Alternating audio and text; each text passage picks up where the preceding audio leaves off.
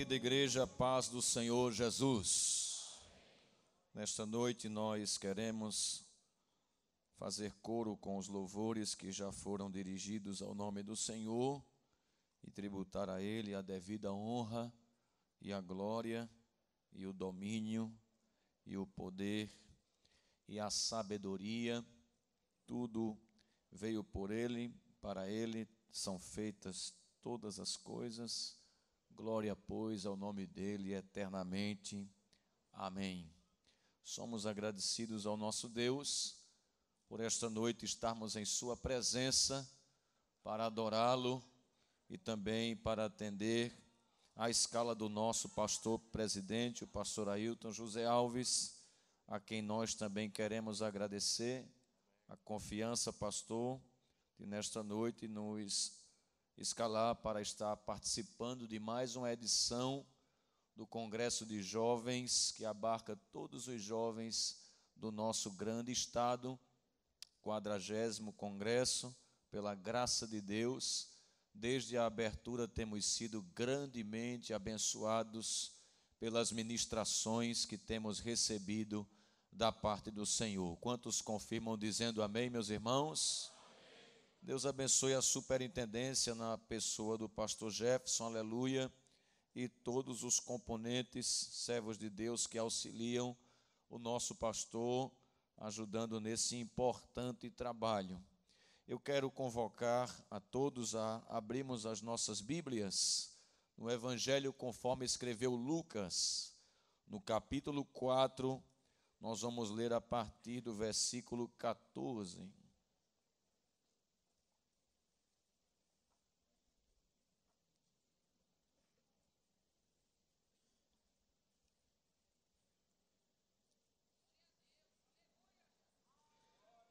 Diz assim a santa palavra de Deus. Então, pela virtude do Espírito, voltou Jesus para a Galiléia, e a sua fama correu por todas as terras em derredor. E ensinava nas suas sinagogas, e por todos era louvado.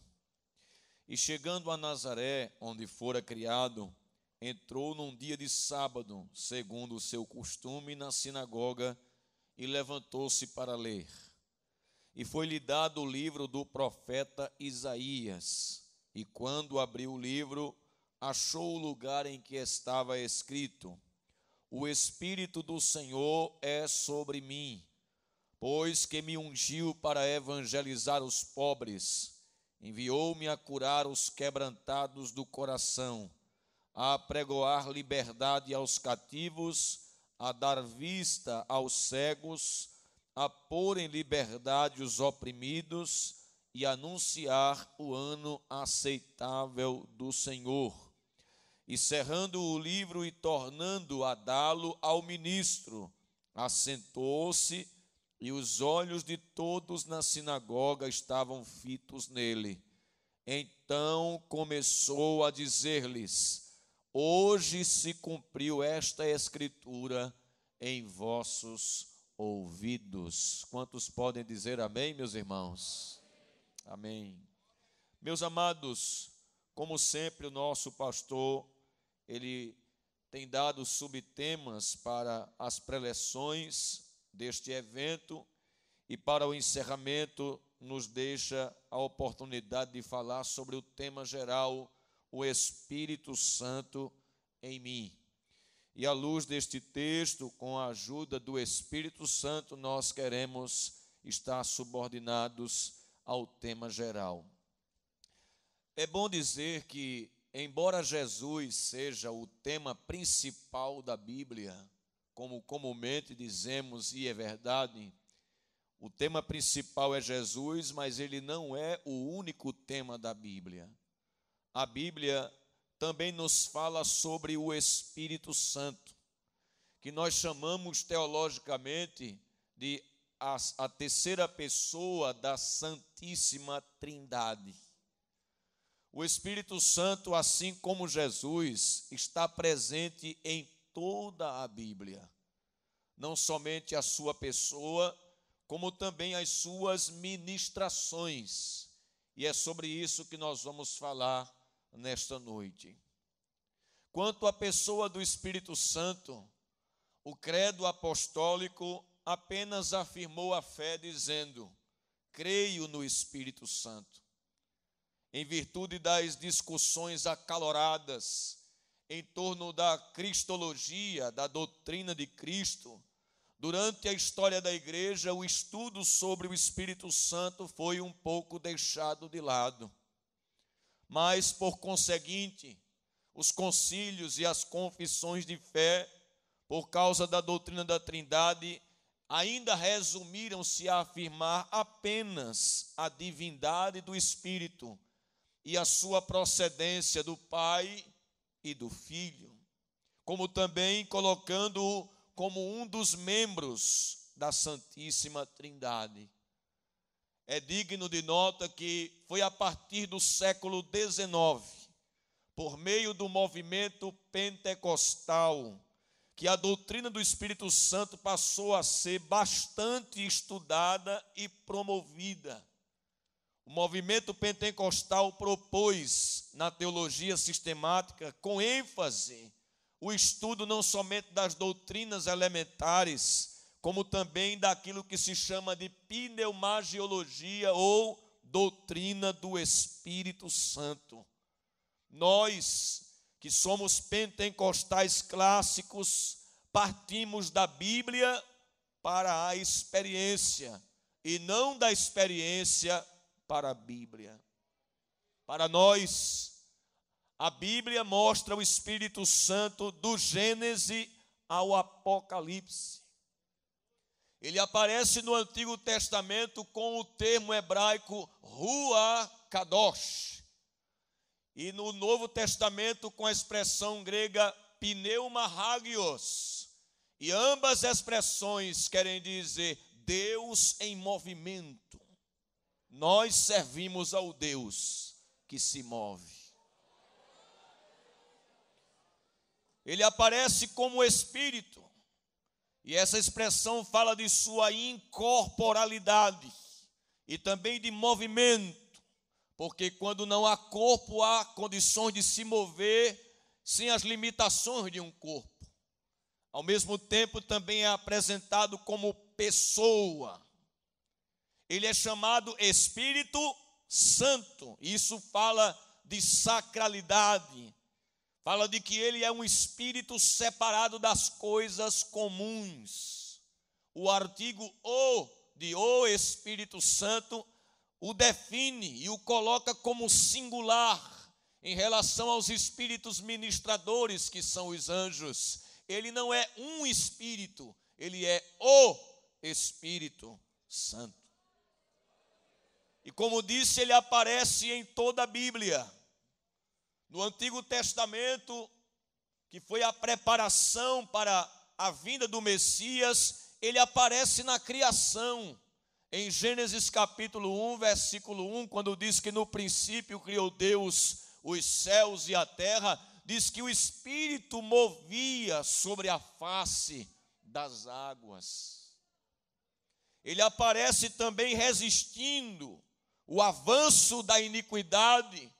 Em Gênesis 6, quando corrupção, maldade e violência, três termos que aparecem na geração antediluviana eram comuns entre os homens, diz: O meu espírito não agirá mais no homem, porque ele é mau desde a sua meninice.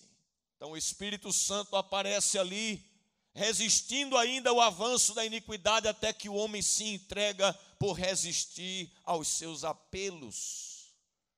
Ainda no Antigo Testamento, o Espírito Santo aparece capacitando a Bíblia nos mostra ele capacitando líderes escolhidos.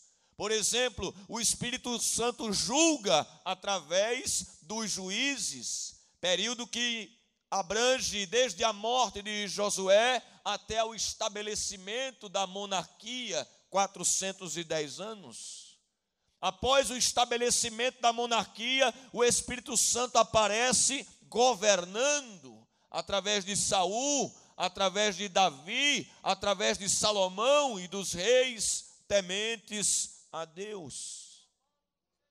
nesse ínterim, o Espírito Santo aparece profetizando, através do que chamamos na teologia de profetismo, quando ele, ele levanta homens que são portadores dos oráculos de Deus, que falam as verdades de Deus para a sua geração. E estes homens, embora ungidos pelo Espírito, para exercer essas três vocações, como os sacerdotes também, eles anunciaram, eles foram usados pelo Espírito Santo para falar de uma era em que o Espírito Santo não seria dado única exclusivamente a alguns em particular, senão de que ele viria para ser derramado sobre toda a carne. Joel capítulo 2, versículo de número 28, que é o texto áureo do movimento pentecostal. E há de ser que depois, nos últimos dias, derramarei o meu espírito sobre toda a carne. Vossos filhos e vossas filhas profetizarão, vossos jovens terão visões, vossos velhos sonharão sonhos. E até sobre os meus servos e as minhas servas derramarei o meu espírito naqueles dias. Então o Antigo Testamento já falava, já mostrava a atuação deste Espírito e já vaticinava de que ele viria para uma era com demonstrações mais amplas. Logo, a Bíblia não somente fala desses homens que foram ungidos, mas também relata que eles profetizaram a vida do ungido do Senhor, o Messias. E essa expressão Messias vem da expressão hebraica machá, que quer dizer ungir derramar óleo. E o ungido significa dizer que viria aquele que não seria apenas rei, que não seria apenas sacerdote ou profeta ou juiz, mas que seria as quatro funções num só. Ele receberia a unção mais elevada. Glória a Deus. Em Isaías capítulo 11, se você confere na sua Bíblia comigo, você vai ver que sobre ele se derramaria o espírito sétuplo, ou seja, com as sete virtudes. Versículo de número 1 e 2: Porque brotará um rebento do tronco de Jessé, e das suas raízes um renovo frutificará, e repousará sobre ele o espírito do Senhor e o espírito de sabedoria e de inteligência, e o espírito de conselho e de fortaleza, e o espírito de conhecimento e de temor do Senhor.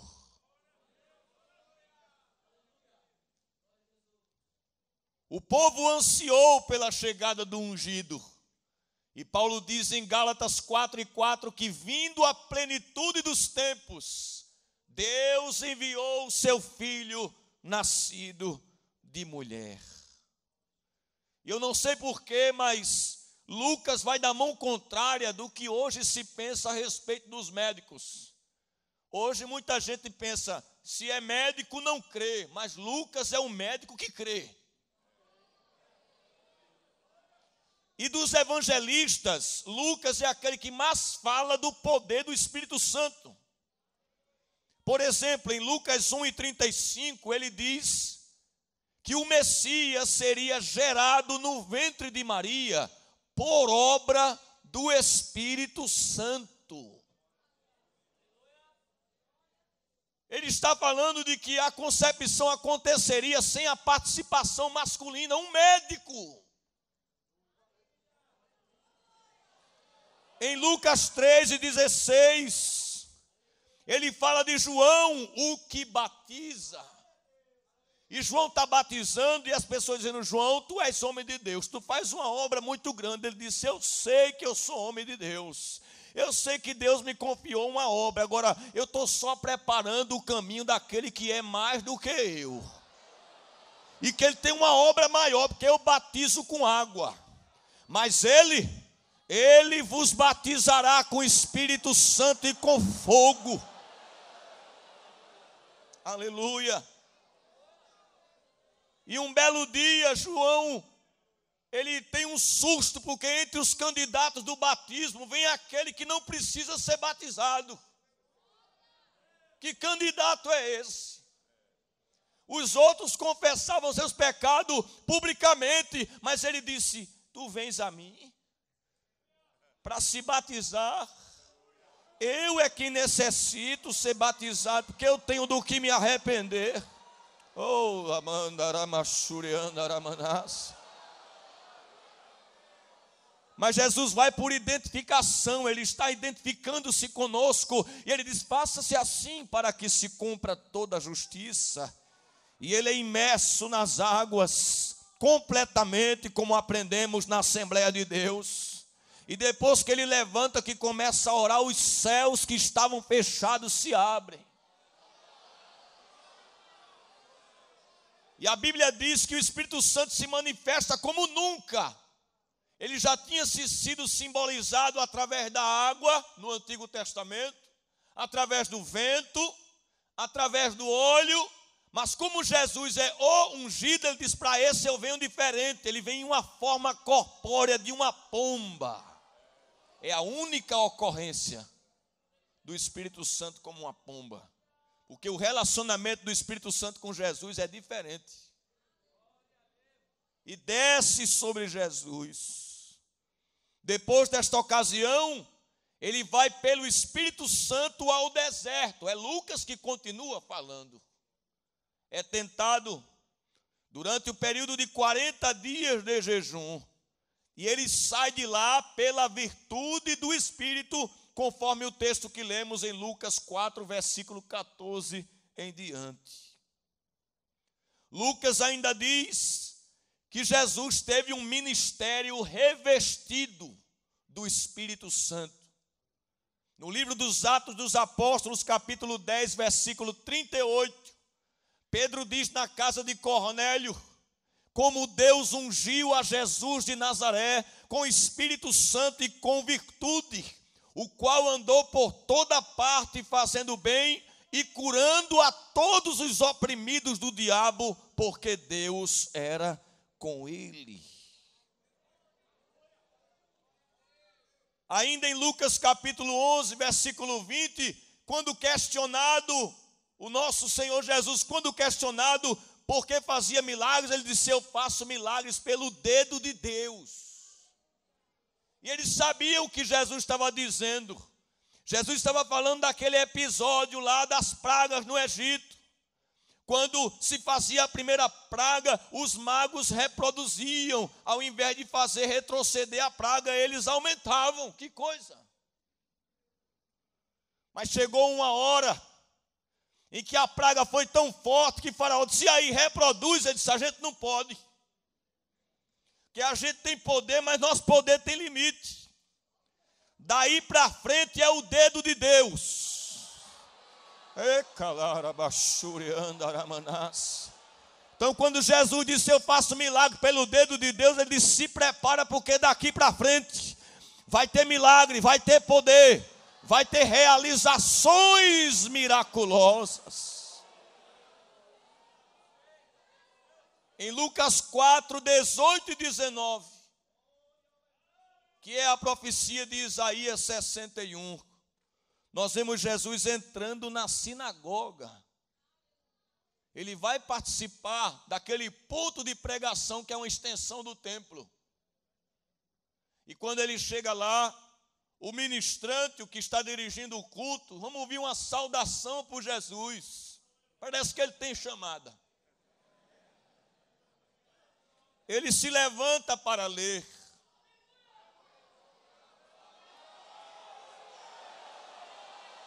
E ele pega o rolo, porque naquela época os escritos eram escritos que eram escritos em material de origem animal. Era o pergaminho. E ele abre, e não é coincidência, é projeto de Deus. Isaías 61. E ele lê: O Espírito do Senhor Jeová está sobre mim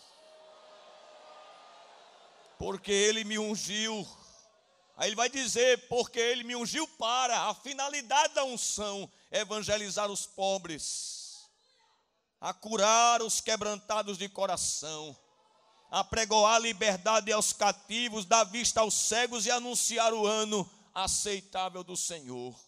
E todo mundo pensou, pronto, agora ele lê o texto, ele vai fazer uma, um comentáriozinho, mas ele não faz. Ele fecha o rolo e só diz assim: essa profecia se cumpriu hoje. E se senta.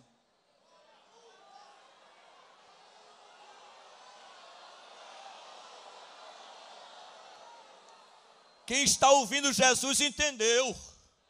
Peraí, peraí. Os profetas diziam assim, profetizavam e diziam: Ele vem, Ele vai fazer, Ele vai reinar, Ele vai curar. Jesus, ao invés de ler a profecia e dizer: Ele vem, diz: Ele é eu. Ele sou eu.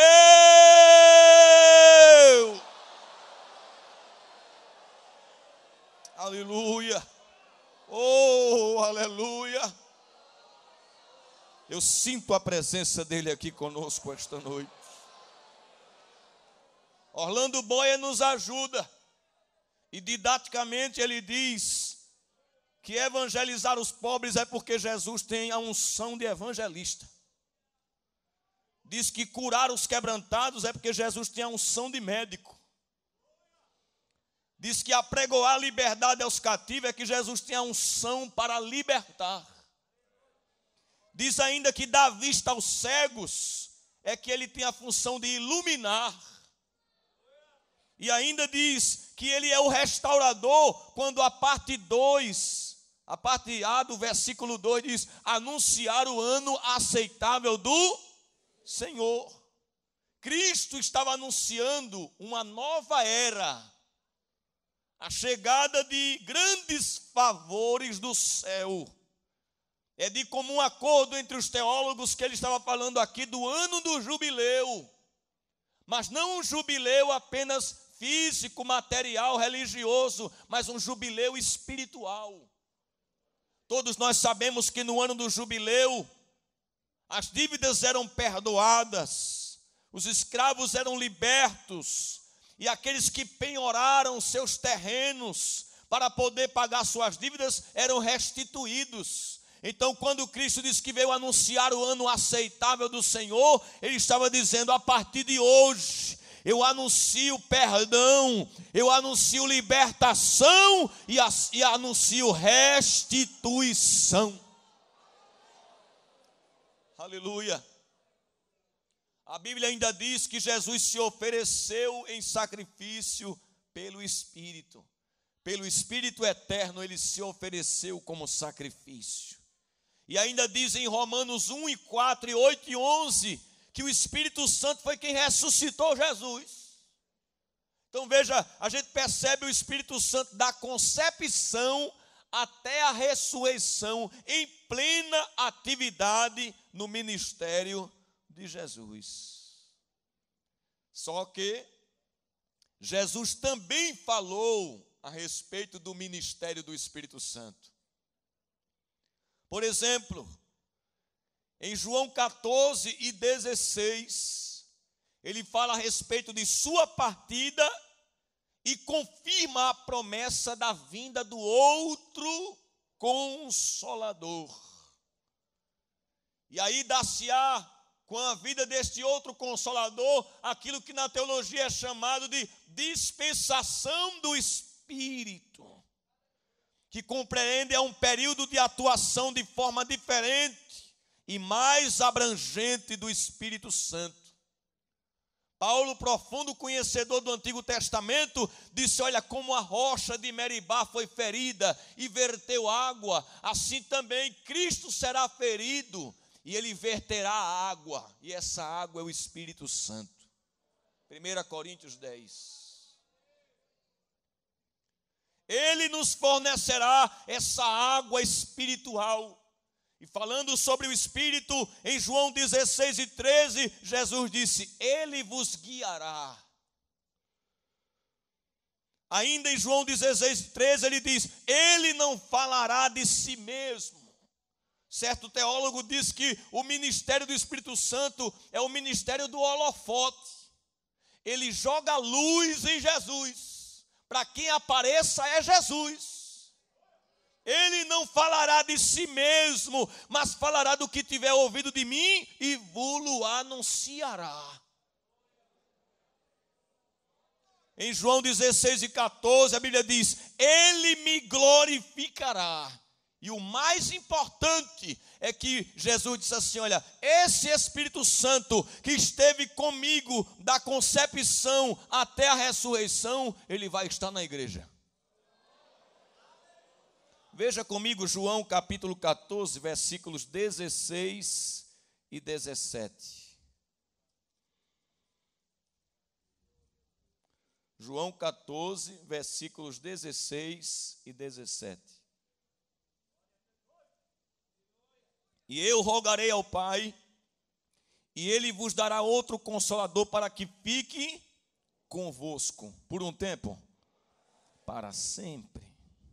O 17 diz: O Espírito da Verdade, que o mundo não pode receber, porque não o vê nem o conhece, mas vós o conheceis porque habita convosco e estará em vós.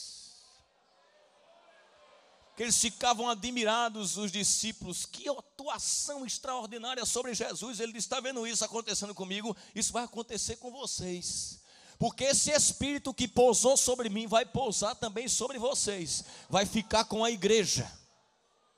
Aleluia. A promessa de Jesus e dos profetas teve o seu cumprimento no período da igreja, a partir do Pentecostes. Jesus e os apóstolos ensinaram as diversas ministrações do Espírito Santo, deixando claro que a obra do Espírito Santo é totalmente experimental. Veja que coisa interessante. Lucas chama o evangelho de primeiro tratado e chama Atos de segundo tratado. No primeiro tratado, Lucas fala do Espírito Santo em Jesus. No segundo tratado, ele fala do Espírito Santo na igreja. No Salmo 133 está escrito: Ó oh, quão bom e quão suave é que os irmãos vivam, é como o óleo, que é derramado aonde? Sobre a cabeça. Jesus é o ungido. Foi derramado óleo sobre a cabeça mas não ficou na cabeça, que desce sobre a barba, até a orla das suas vestes. O Espírito que agiu em Jesus, que é o cabeça da igreja, desce para o corpo que é a igreja. Compreende? O Espírito que usa Jesus em Lucas, Evangelho, é o que usa a igreja em Atos. E aí vem as atuações do Espírito Santo. Em João 16, versículos 6 ao 11, Jesus fala que uma das primeiras atribuições do Espírito Santo na vida humana é o convencimento, que o pastor Jefferson abordou muito bem aqui ontem. A expressão convencer quer dizer trazer luz, expor, repreender. Primeiro contato do pecador com o Espírito Santo, quando ele é exposto à pregação da palavra, é essa persuasão que não é coercitiva, forçada, mas é em cooperação. É tanto que é possível o pregador exposto à luz da palavra, ainda assim ele rejeitar. Por isso que Estevão disse em Atos 7,51: Ó homens de dura cerviz, que sempre resistis ao Espírito Santo. Foi por isso que o escritor aos Hebreus, citando o Antigo Testamento, disse: Se, pois, hoje ouvides a sua voz, não endureçais o vosso coração. Então, o Espírito Santo, ele leva o homem mediante a exposição da palavra, a uma reflexão do seu estado diante de Deus e a um possível arrependimento se esse homem abrir o seu coração. Uma outra ministração do Espírito Santo conseguinte a essa é a obra da regeneração. Jesus, em João capítulo 3, foi abordado por um fariseu chamado Nicodemos. Nicodemos veio a ele no horário noturno, quem sabe temendo que o sinédrio soubesse que um homem estudado daquele fosse consultar um carpinteiro que não passou pelas escolas rabínicas. E era um mestre falando com outro, porque ele diz: Jesus, tu és mestre vindo da parte de Deus. E Jesus mais na frente diz a ele assim: Tu és mestre não sabe disso? É um mestre falando com outro. Mas um tinha só a formação teológica, o outro tinha principalmente a revelação da graça de Deus. E Jesus disse a ele assim: ó, se tu não nascer de novo, tu não pode nem ver, quanto mais entrar no reino de Deus. Nem ver. Jesus estava falando da obra do Espírito Santo. A expressão grega para nascer de novo, ali fala de um nascimento de cima o que é impossível para o homem por seus próprios esforços. Certo teólogo diz que assim como é necessário para entrar no mundo nascer, é necessário nascer de novo para entrar no mundo espiritual de Deus. É Ele quem faz essa cirurgia no interior. Que Ezequiel 36, 26 lança luz, dizendo assim: E tirarei do vo vosso coração de pedra, e porei um coração de carne. O homem é completamente passivo na regeneração, ele só crê, mas quem faz a cirurgia interior é o Espírito Santo de Deus. Paulo fala desse novo nascimento em Tito 3 e 5. Uma outra atividade do Espírito Santo, depois que ele convence, depois que ele regenera, aí nasceu de novo, ele diz: agora eu posso morar dentro, que agora está limpinho. Porque Tito 3 e 5 diz que a regeneração é uma lavagem. É uma lavagem. Só que em vez de ser uma lavagem por fora, é uma lavagem por dentro. E a santificação é uma lavagem por dentro e por fora. O chuveiro lava só o corpo. Mas a regeneração é o chuveiro do Espírito Santo que lava por dentro. Aí agora limpinho, ele disse: agora eu moro aí. Agora eu habito aí. 1 Coríntios 6 e 20. Ou não sabeis vós que sois o templo de Deus e que o Espírito Santo habita em vós, e já não sois de vós mesmos a palavra habitar aí, oikeo, significa ocupar uma casa, habitar, residir, permanecer. Interessante que esse sempre foi o desejo de Deus. Quando da edificação do tabernáculo, em Êxodo 25 e 8, Deus diz assim a Moisés: E me farão um santuário e habitarei no meio deles. O povo estava em trânsito, Deus disse: então construa uma casa que possa montar e desmontar, porque eu me identifico com o meu povo. O meu povo para, eu paro. O meu povo anda, eu ando. Quando o povo entrou na terra que ficou fixo, ele disse: agora faça uma casa fixa. Vocês não estão fixos? Eu me identifico com vocês. Mas na frente, ele disse: agora nem o, o, transportável e nem o fixo. Agora eu me faço carne e habito no meio deles. Glória a Deus. Então ele habita no homem, ele habita na igreja e em cada crente. E um dos símbolos do Espírito Santo que fala dessa permanência em nós é o selo. Em Efésios 4 e 30, o apóstolo Paulo diz que nós somos selados para o dia da redenção. Selo aí é carimbo, irmão. A primeira coisa que quem é cuidadoso faz quando adquire algo é escrever o próprio nome. Ou alguns são mais cuidadosos ainda e faz um carimbo assim para tombar. Porque se alguém um dia pegar emprestado, né, e disser que é dele, você vai dizer aqui está carimbado, viu? Tem meu nome, viu? Tombei, viu? É meu. A igreja está carimbada. O crente está com o carimbo do céu. É por isso que os cantores evangélicos convertidos, eles não dão autógrafo, não. Não, não, não, porque o autógrafo a igreja já tem do Espírito Santo no coração dela. Aleluia. Glória a Deus. Paulo diz ainda que o Espírito Santo ele é o penhor. Isso aqui é muito bonito, irmãos. É o quinhão, diz o texto, né? É a primeira parcela do pagamento. Você já viu que coisa linda? Quando a pessoa vai alugar uma casa ou comprar uma propriedade, né? Aí o proprietário diz: "Me dê um sinal. Você tem que me dar um valor para garantir que vai pagar o resto". Ele diz: "Está aqui". Aí Paulo pega essa linguagem de mercado e transporta para o evangelho. Ele diz: "Está vendo o Espírito Santo?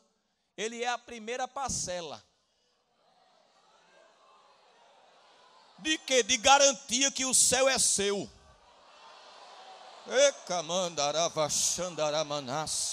Quer uma prova de que o céu é seu? Toma a primeira parcela, que é o Espírito Santo. Quem tem ele aqui? Aleluia. Está garantido. Está garantido. Glória a Deus. Em quarto lugar, o Espírito Santo, além de habitar, ele santifica, irmãos. Daí porque o termo Espírito Santo, não só falando do seu caráter santo, como também de sua missão principal, a de santificar. A obra da santificação está estreitamente ligada ao Espírito Santo. Paulo disse aos crentes da cidade de Corinto, aquela cidade mergulhada na imoralidade, ele disse: vocês foram beberrões, foram efeminados, sodomitas, está no texto, não posso mudar o texto. Vocês foram ladrões, homicida, mas fostes lavados, fostes santificados, fostes justificados em nome de Jesus Cristo e pelo Espírito de nosso Deus. Aleluia. O Espírito Santo santifica. É por isso que quem tem o Espírito Santo, irmão, tem aversão ao pecado, porque não quer magoá-lo, não quer entristecê-lo. Em quinto lugar, o Espírito Santo gera o fruto. Veja como tem coisa sobre o Espírito Santo na Bíblia, não é? Ele gera o caráter de Deus em nós. Aleluia. A Bíblia nos mostra ele gerando, depois do novo nascimento, os aspectos do caráter de Cristo: amor, paz, alegria, bondade, benignidade, mansidão, domínio próprio, longanimidade, nove virtudes que o Espírito Santo gera em nós, de forma que Assim como a evidência física do revestimento de poder são as línguas, a evidência do novo nascimento é o fruto. Como é que eu sei que alguém nasceu de novo? É porque ele vai gerar os frutos. De Gálatas 5 e 22. É preciso entender isso. Por isso que eu gosto do que um pensador disse: que falar línguas é dom, mas segurar a língua é fruto.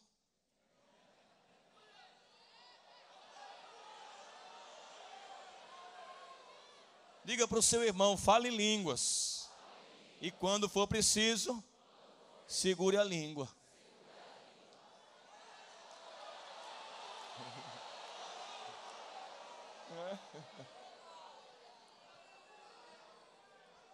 Diga comigo, o Espírito Santo capacita. 1 Coríntios 2, de 8 a 10, Paulo fala dos dons do Espírito Santo. O Espírito Santo em mim, irmão, faz tudo isso aqui. Em você faz tudo isso aqui, se achar espaço. O próprio batismo com, com o Espírito Santo, ele é chamado de dom do Espírito. Pedro disse isso: arrependei-vos e cada um de vós seja batizado e recebereis o dom do Espírito Santo. Referindo-se ao batismo. Certo teólogo disse que Lucas usou Isaías e Joel para anunciar a unção do Espírito Santo sobre a igreja em Atos 1 e 8 e 2, 16 ao 21. Lembrando que o Espírito que capacitou Jesus também capacita seus seguidores. Esses dons, chamados no grego de carisma, foram distribuídos para a igreja a partir do dia de Pentecostes. E nós precisamos destas ferramentas que estão à disposição da igreja. Daí porque somos pentecostais, porque cremos que os dons espirituais que entraram em vigor na era apostólica ainda encontram-se entre nós. Houve períodos de diminuição, mas nunca houve cessação dos dons. Eles estão em pleno vigor no seio da igreja. Em sétimo lugar, o Espírito Santo guia o crente, irmãos. Jesus disse: Ele vos guiará em toda verdade. Quando a gente não era crente, quem nos guiava era o mundo. O que saía na novela, a pessoa fazia. O que a atriz fulana de tal fazia, a pessoa fazia também. O jogador cortava o cabelo de tal forma, aí os jovens do mundo saem cortando tudo em igual também. Mas isso era quando a gente era do mundo, né? Quando a gente era do mundo. Fica a dica. Antes nós éramos guiados pelos nossos sentimentos. Eu acho que é bom assim. Não é? Ou pela carne. A carne sentiu o desejo, nem pensava, vou fazer, eu estou sentindo. Ainda hoje, né? Há psicólogos que diz: não, se liberte, saia do armário. O que vier vontade de fazer, faça, não é? Não diz assim, né? Dê vazão. Mas isso era quando a gente estava lá. Nós éramos antigamente guiados pelo próprio inimigo, o espírito da potestade, que diz o texto que ele incentiva os homens à perdição, os conduz. Éramos guiados pelos ídolos. Alguns aqui participavam de procissão, quando iam fechar um negócio, ia consultar, fazia promessa.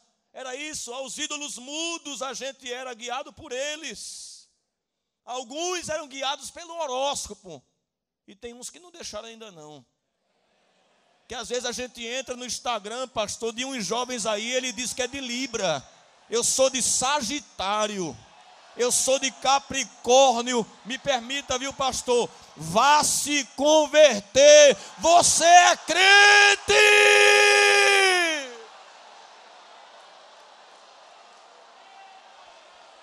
Quem diz como eu devo andar não é o sol, não é a lua, nem as estrelas. Quem diz é o Espírito Santo através da palavra. Lâmpada para os meus pés é a tua palavra e luz para o meu caminho.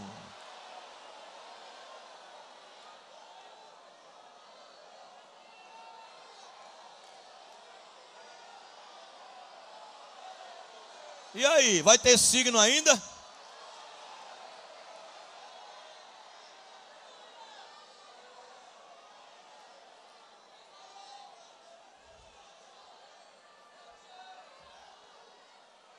Antigamente, quem era dado à religião, que o Brasil é um país muito místico, era guiado pelos falsos profetas.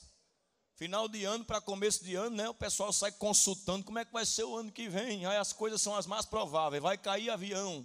Sempre cai. Artista vai morrer, ninguém é eterno. É ou não é? São as previsões mais fracas que existe não é? E hoje existem os falsos profetas nas redes sociais, usando para fazer live. E tem uns que dá o pix.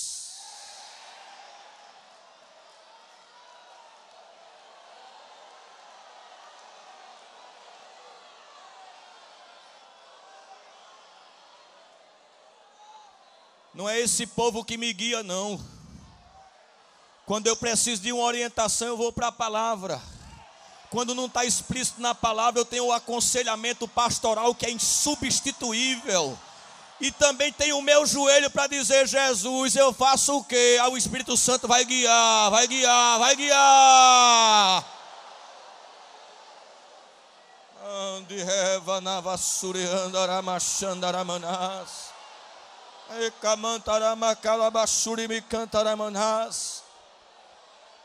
Oh, aleluias. Ontem a gente aprendeu que o Espírito Santo revela as coisas de Deus. Eu fiz questão de ouvir todos os pastores, ministros, que é muito bom ser edificado. Graças a Deus pela Rede Brasil, porque às vezes a gente está num culto, atendendo uma escala do pastor, não pode estar ali, mas quando chega em casa a gente vai jantar e ainda cultua. É uma bênção a Rede Brasil. Quem concorda, diga amém. amém. Olha aqui, amém, pastor. O apóstolo Paulo disse assim: ó, as coisas que o olho não viu e que o ouvido não ouviu e não subiu ao coração do homem, a compreensão, né? São as que Deus preparou para aqueles que o. Aí, se a gente só lê esse texto, a gente é tentado a pensar que essas coisas é do céu, só do céu. Mas o versículo 10 diz assim: Mas Deus nolas revelou, o tempo presente, pelo Espírito porque o Espírito penetra todas as coisas, até as profundezas de Deus. Irmão, isso é muito alto.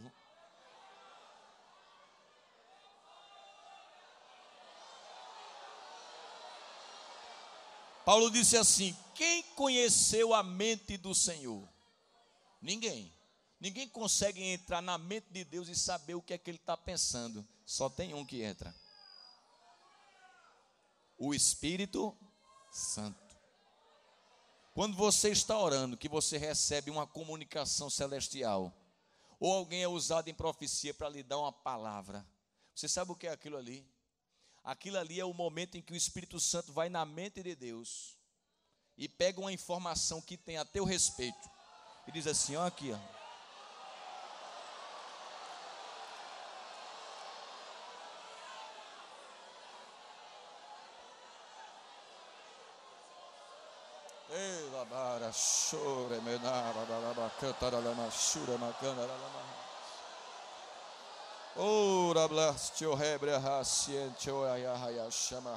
Ora. Fecha teus olhos. O Espírito Santo acabou de me dizer: prepara-te para um tempo de revelações profundas. Eu vou te chamar mais para o quarto, para o momento a sós porque vai ser coisa tão alta que eu não vou dizer no meio do meu povo, eu vou te chamar para o oculto, para o secreto, e vou ventilar na tua mente coisas, segredos. Vou compartilhar contigo sigilos. Vai vir sobre ti um apetite pelas coisas espirituais tão grande que até teus pais não vão te conhecer. Essa menina está orando que só, viu? Esse rapaz está orando tanto. E lá o teu quarto, depois da igreja, vai ser o ponto de encontro com o Espírito Santo. Ele está confirmando isso aí agora no teu coração. Está vindo uma brasa de fogo como uma flecha eu estou sendo autorizado pelo Espírito Santo para ministrar isso sobre ti. Ande como anavassuri andaravacharabacantaramanássia. Está descendo algo do céu, uma renovação espiritual tão grande. E tem uns que vão receber dons espirituais agora. Receba a presença de Deus já.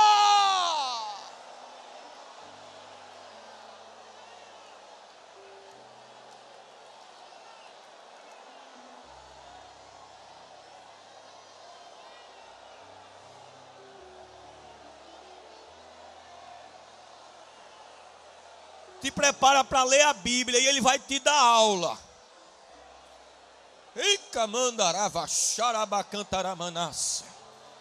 Ele vai explicar a passagem, tu vai ouvir a voz, explicando, abrindo o entendimento. Eita, que coisa linda, Jesus. Oh, aleluia. Glória a Deus. Ele vai abrir o véu.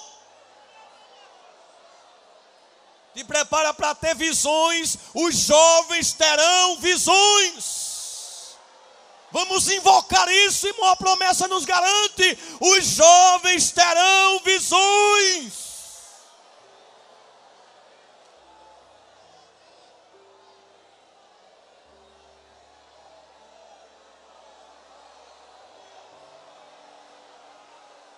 Está sendo dado agora um toque na tua mente.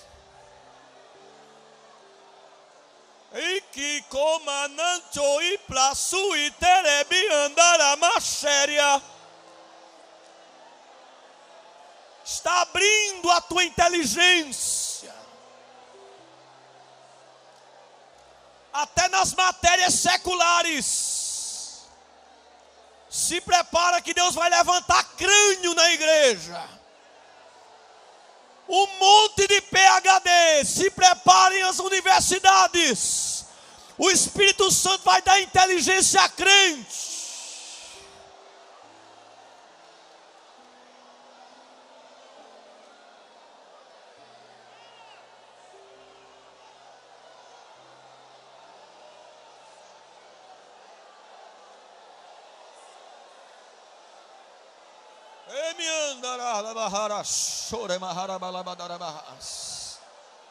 Oh, irmão, está passando um vento aqui, olha. Uma brisa suave. Vai tomar da galeria até embaixo aqui, ó. Vai receber. Eita, que coisa linda. É o Ruacadosh.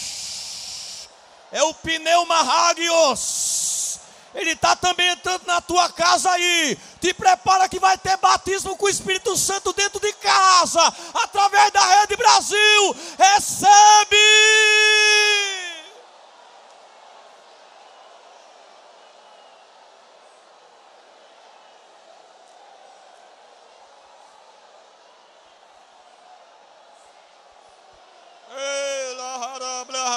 Chora, recebe variedade de línguas, recebe o dom de profecia, recebe. Deus não quer uma geração só que fala inglês, não, Ele quer uma geração batizada com o Espírito Santo. Deus não quer só uma geração de currículo, não, Ele quer uma geração queimada pelo fogo da presença.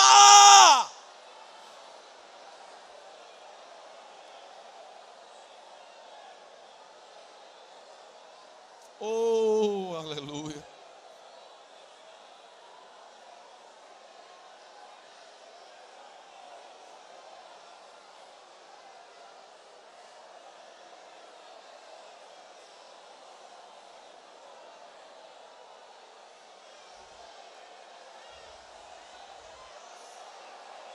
Era la basharaba Amiende hei jo, amiende jo haya mahai. Amiende jo haya haya haya maya ha. Kaya chora me le mini chori mini ni haida haidai. Adiente ni choto toho toho papa para ro ba ha.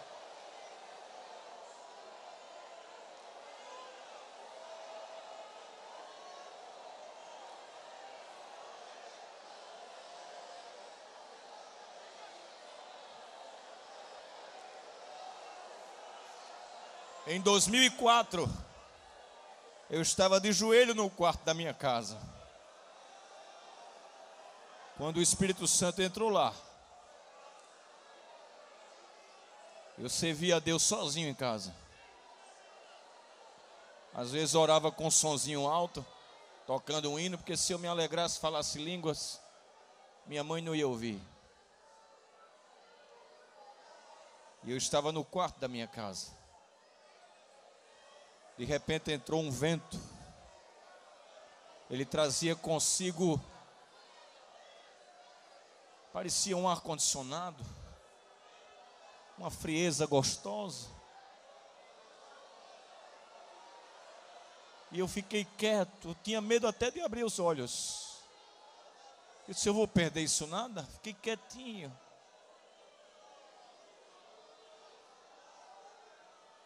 E ele veio, encheu o ambiente, entrou no meu coração.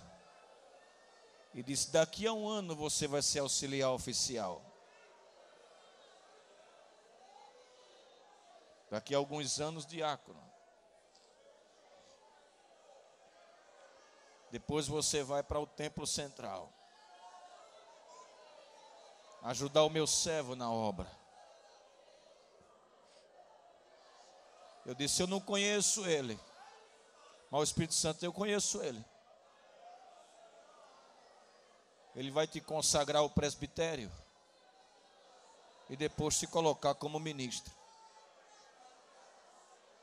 Eu passei duas horas ali, perdido na graça. Você já ficou perdido na graça, irmão? Que você não olha a hora, não, não dói joelho, não olha a hora. Eu estava embriagado da presença, saturado. Essa geração precisa disso, irmão. Desliga um pouquinho o WhatsApp. Como ouvimos ontem, desliga um pouquinho o Instagram. Está instagrando tanta gente. Vai para os joelhos.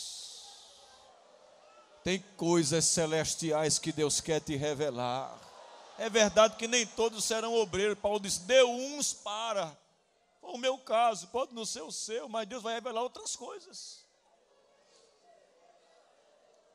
Aí, lá em casa ninguém era crente. Um dia eu estou na mesa. E eu disse assim: Manhã, tá vendo esse homem aí pregando na rádio Boas Novas? Era o senhor, pastor. Ela disse: Estou se Deus me disse que eu ia trabalhar pertinho dele. Ela fez, tu nem conhece ele. Eu disse, eu sei. Mas eu tenho culpa, não foi eu que disse.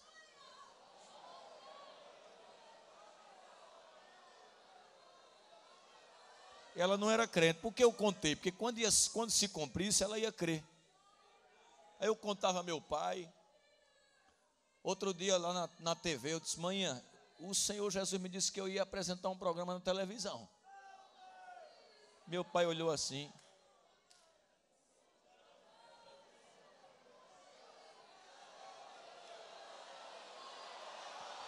Outro dia eu estava na mesa e às vezes eu sou pitoresco, aí eu cheguei para brincar mesmo, eu fiz assim, ó.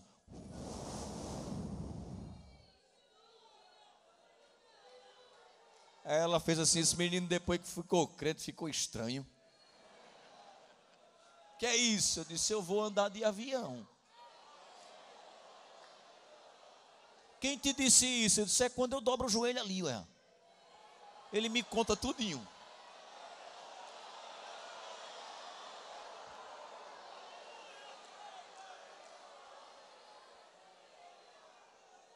Aí um, um dia eu recebi uma escala para ir pregar em Petrolina. Primeira vez que eu fui lá, pastor Elci Ribeiro. E aí eu liguei para ela. Disse, diga para onde eu vou. Sei não, disse, Petrolina, disse, de carro é tão distante, eu digo, de avião não. Tu vai de avião, eu disse, eu não disse?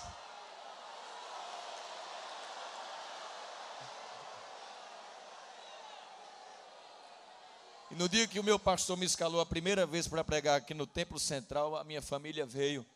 Minha mãe já era crente, uma semana antes dela se converter, eu sonhei tirando ela de dentro da lama. Aí uma semana depois eu estou pregando numa festa, quando fiz o convite, veio ela para aceitar Jesus. Aí ela sentou-se ali, ela começou a lembrar das palavras que eu fui dizendo, das promessas. Ela se alegrou tanto que Jesus batizou ela com o Espírito Santo naquele dia. Glória a Deus. Ele revela o Espírito Santo revela as coisas de Deus. Eu vou concluir. Aleluia. O Espírito Santo vai pegar na tua mão e vai te levar para águas mais profundas.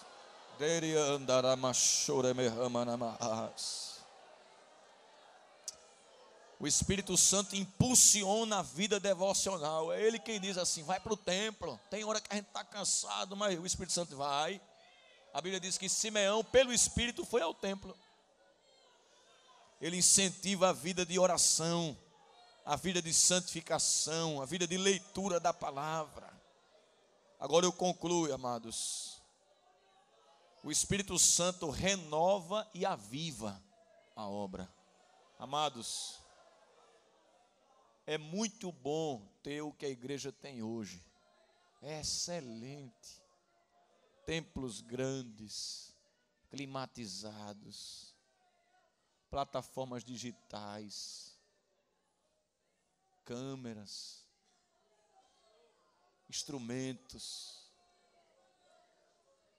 igrejas acolchoadas, encarpetadas, estacionamentos amplos os crentes já não vão mais de bicicleta, não é? Se esforça, tem o seu carrinho, a gente olha o estacionamento. Eu dou tanta glória, irmão, quando eu vejo o estacionamento cheio de carro de crente. Eu digo, olha que maravilha. Mas ninguém pode dirigir bem se não tiver retrovisor. A gente é hoje por causa do começo. No começo não tinha nada disso. Por isso que na época, no comecinho, um pastor reformado chegou para um pastor assembleano e disse: Eu não entendo, eu não entendo. Vocês não têm cantor famoso, na época não tinha. Vocês não têm expressão na política, na época não tinha. Vocês não têm carro, não tem templo grande, os templos é tudo dentro dos engenhos. Vocês não têm. Vocês, se não for o Espírito Santo, vocês estão acabados. O pastor disse: É verdade. É verdade. Se tirar o Espírito Santo da Assembleia de Deus, ó, está acabado, não é, pastor? Não é, meu pastor? O segredo é o Espírito Santo. É Ele. Foi por isso que Abacuque orou dizendo assim: Aviva a tua obra. No meio dos anos a notifica. E na ira lembra-te da misericórdia. Glória a Deus. Paulo disse: sede fervorosos de espírito, servindo ao Senhor. Aleluia. Glória a Deus. Bendito seja o nome do Senhor. Efésios 5,18, ele disse: Não vos embriagueis em que há contenda ou dissolução, diz outra versão, mas enchei-vos, amados, nós precisamos é de fogo, não de fumaça. Fumaça tem muita. A gente precisa de fogo.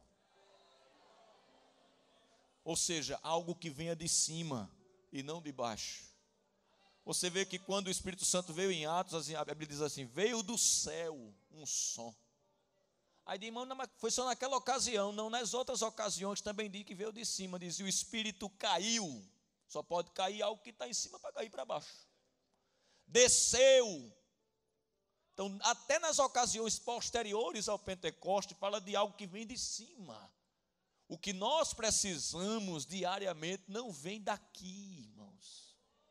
Vem de cima. E quando é que a igreja precisa de avivamento? Quando não estamos andando em santidade diante de Deus.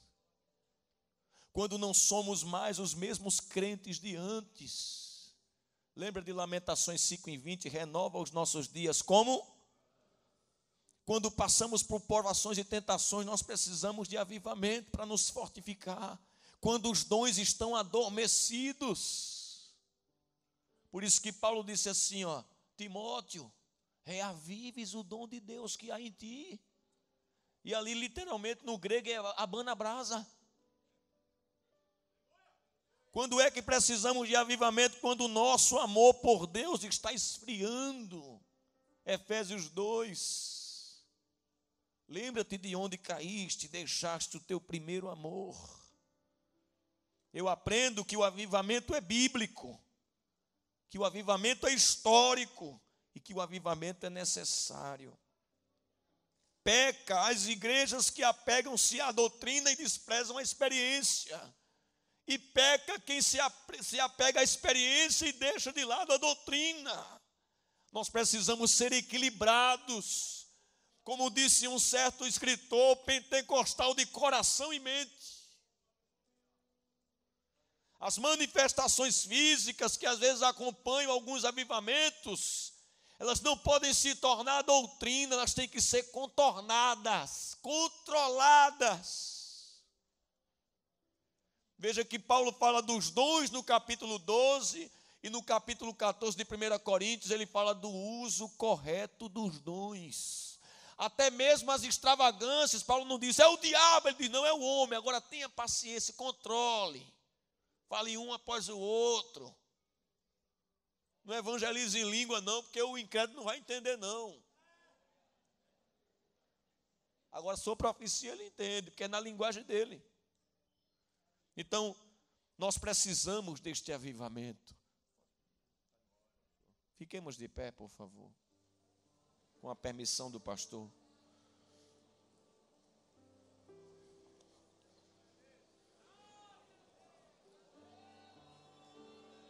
Aleluia.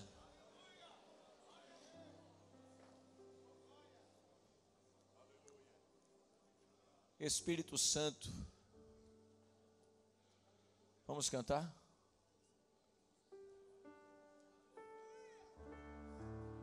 Aleluia. Eu quero, com a permissão do pastor, convidar as pessoas não evangélicas que querem ter a experiência do novo nascimento na sua vida. Saia do seu lugar esta noite, arrependido dos seus pecados, e venha aqui à frente. O pastor convida você para receber a Jesus. Pode vir. Feche os seus olhos e cante para Jesus. Aleluia, cante. Glória a Deus. Bendito seja o nome de Jesus. Espírito Santo. Espírito Santo. Sabes quem eu sou. Veja se tem alguém do seu lado que não é crente. E traga essa pessoa para Jesus, não por força nem por violência, mas pelo meu espírito, diz o Senhor. Aleluia. Glória a Deus. E mesmo assim Moras em mim. Moras em mim. Levante sua mão e vamos adorar ao Senhor esta noite. Tu és santo. Tu és santo. Tu és santo. Está vindo alguém para Jesus? Levante sua mão se identificando esta e noite. outra palavra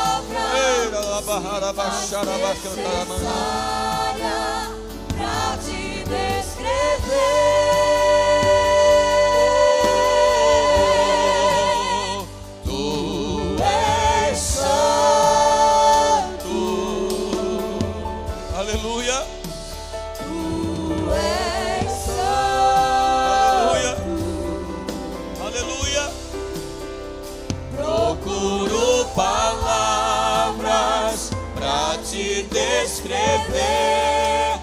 Espírito Santo. Aleluia.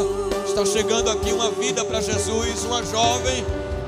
Traga mais pessoas para Jesus. Está chegando outro lá. Está descendo ali à direita.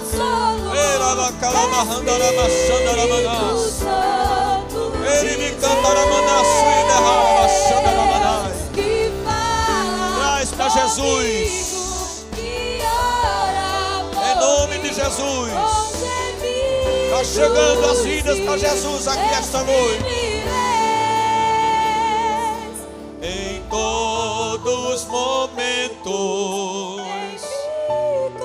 Está chorando, viu? Se abrir o coração, Jesus batiza. Se abrir o coração, Jesus batiza. Receba o batismo em nome de Jesus.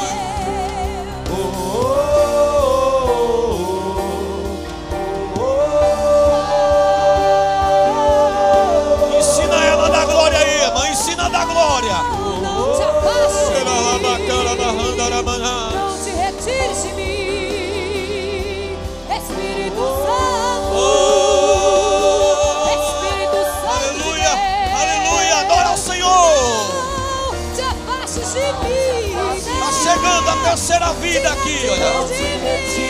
Cadeias estão sendo quebradas. Segura, é Deus em movimento. É Deus em movimento.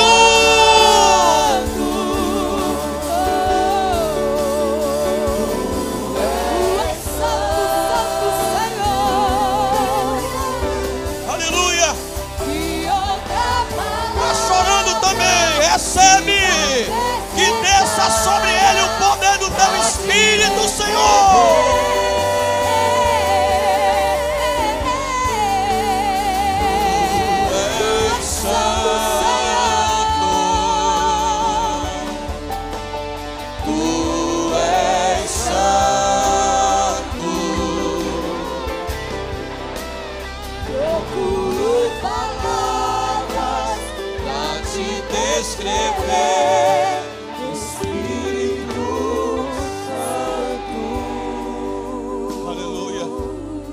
Feche os seus olhos.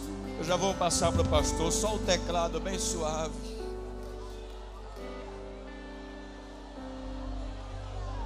Vai passar um vento de Deus aqui. Ele vai trazendo dons espirituais. Mas ele vai passar pesado. Ele vai vir com a força. Ande reprachota cantará lavahaia. Eica mandará massúria. Tu vai sentir ele te abraçando assim, tu vai querer parar e não vai conseguir.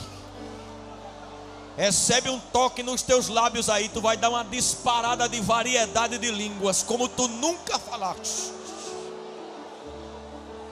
O vento da presença de Deus começa a passar agora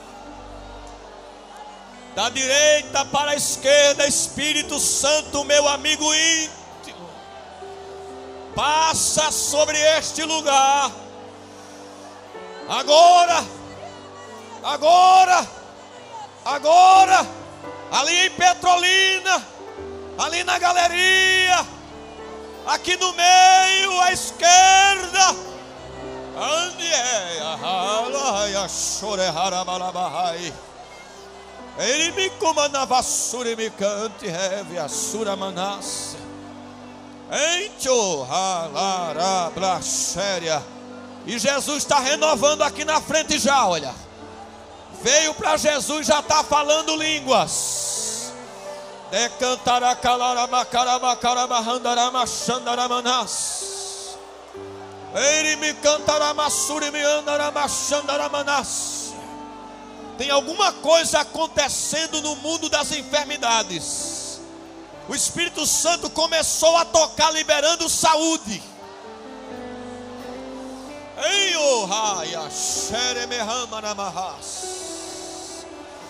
Recebe um toque agora na tua saúde. Em nome de Jesus, caroços desapareçam agora. O espírito de vida está agindo. Ele toca esta noite na tua garganta. Você vai sentir gosto de sangue. Não se preocupe, não cuspa isso. Foi um caroço na garganta que dissolveu agora. Dissolveu agora.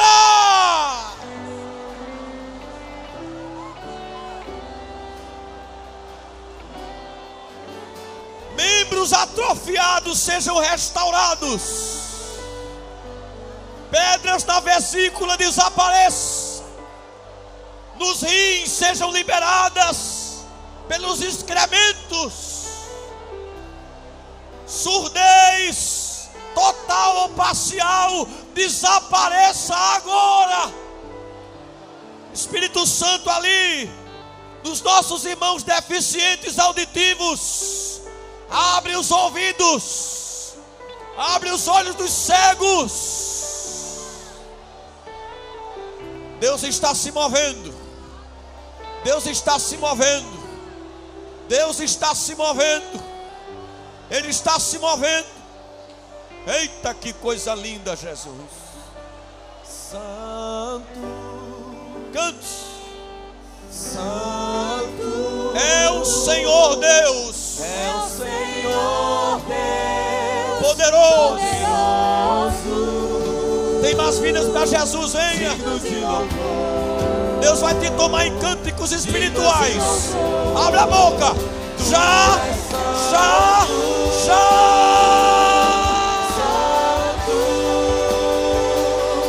É o Senhor Deus, Ei, marabacalabaxuri, me cantaramaná. digno Aí na banda tá caindo fogo. Recebe a presença de Deus. Tá caindo fogo aí na banda. Recebe. É o Senhor Deus, poderoso, digno de louvor. Tá vindo mais uma vida para Jesus aqui. Batiza ela, Jesus. Batiza ela, Jesus.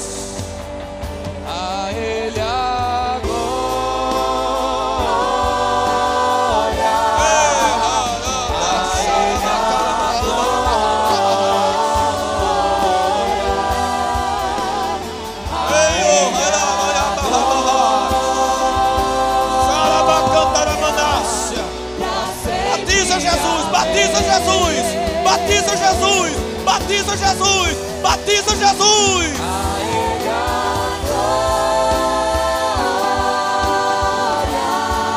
Miomas desapareçam em nome de Jesus. Paralítico, solta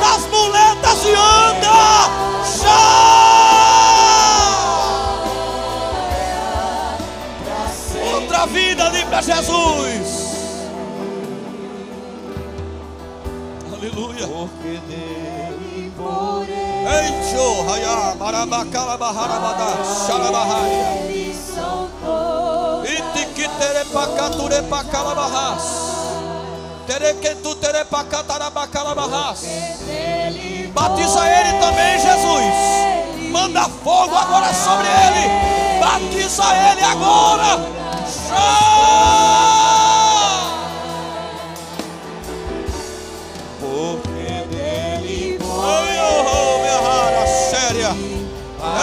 Jesus está aqui, olha. Jesus batizou, batizou com o Espírito Santo aqui agora. Tá falando língua outra também. Tá aqui também. Ensina na glória, ensina na glória.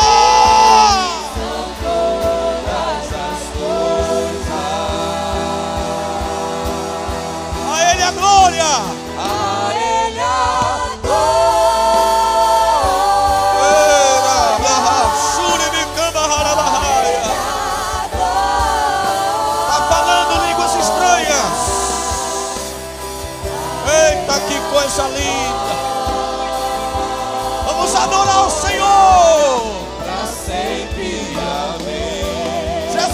Amém. Jesus está batizando as pessoas que estão vindo para Ele aqui.